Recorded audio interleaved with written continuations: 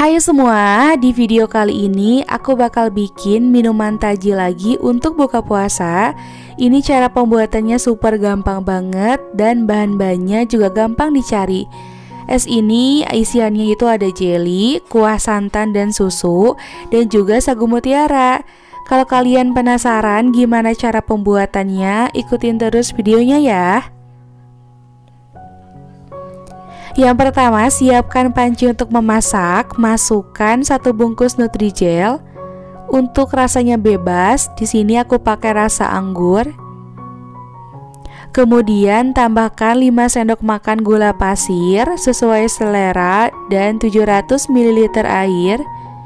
Nah, karena ini warnanya pucat, supaya lebih cantik, di sini aku tambahkan sedikit pewarna makanan. Aku pakai warna ungu untuk pewarnanya ini bebas, opsional.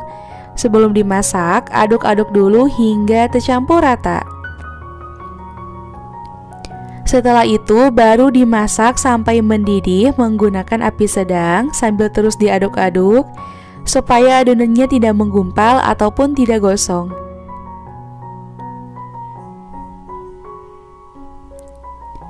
Setelah mendidih, kemudian matikan api kompor dan diamkan selama 3 menit. Setelah 3 menit, kita masukkan fruity acid yang terdapat di dalam Nutrijel dan aduk hingga rata, kemudian tuangkan ke dalam wadah atau cetakan. Ini kita cetak dan biarkan jelinya dingin juga mengeras. Sambil nunggu jelinya dingin, sekarang aku akan masak dulu sagu mutiaranya. Ini aku udah masak 1 liter air sampai mendidih. Aku masukkan sagu mutiara beratnya 100 gram. Ini aku masak menggunakan api sedang, kemudian diaduk-aduk terlebih dahulu. Supaya lebih cepat matang, ini kita tutup pancinya. Yang pertama kita akan masak selama 20 menit menggunakan api sedang.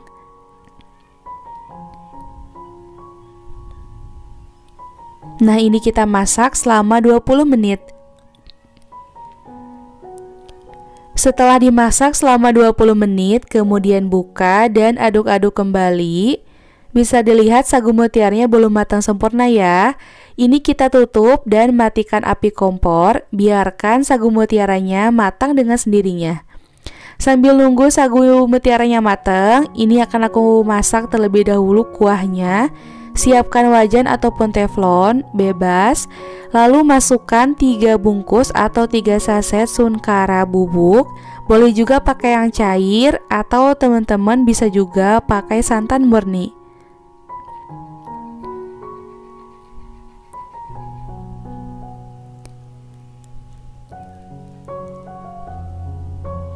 Lalu ini akan aku masukkan dua bungkus pop ice dan untuk rasanya juga bebas.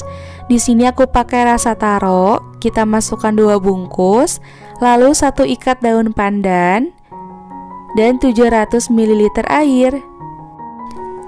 Sebelum dimasak, ini aku aduk-aduk dulu sebentar. Lalu ini kita nyalakan api kompor menggunakan api sedang.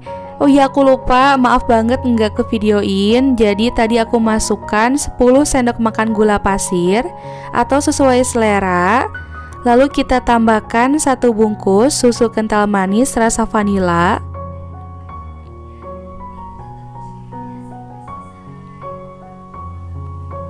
Untuk mereknya juga bebas Lalu ini aku masukkan pewarna makanan Sedikit pewarna ungu ini untuk pewarna makanannya opsional dan aduk-aduk kembali kita masak sampai mendidih. Setelah mendidih seperti ini, kemudian matikan api kompor dan biarkan kuahnya dingin. Setelah itu boleh disaring. Nah ini dia jelinya itu udah dingin Lalu aku potong-potong kotak atau potong-potong dadu Ini sesuai selera aja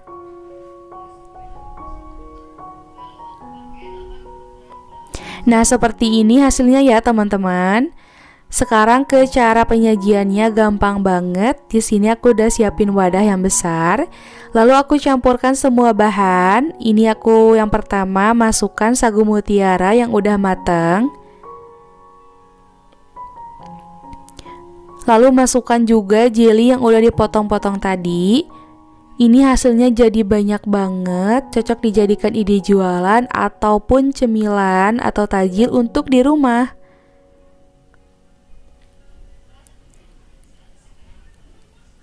Kemudian masukkan kuahnya. Nah, kalian juga boleh tambahin es batu sesuai selera ya. Tapi di sini nggak akan aku tambahin es batu karena kuahnya aku simpen di kulkas tadi, jadi udah dingin. Dan yang terakhir, ini tinggal kita masukkan ke dalam cup ataupun wadah. Ukuran cupnya bebas ya teman-teman. Di sini aku pakai ukuran cup 14 oz.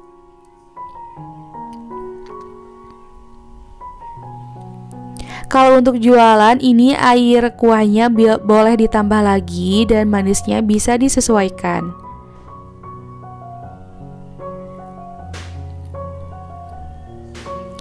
Nah ini dia minuman untuk tajilnya udah jadi. Selamat mencoba di rumah ya. Gampang banget bikinnya. Bahan-bahannya juga simple Tapi rasanya tetap enak dan juga segar.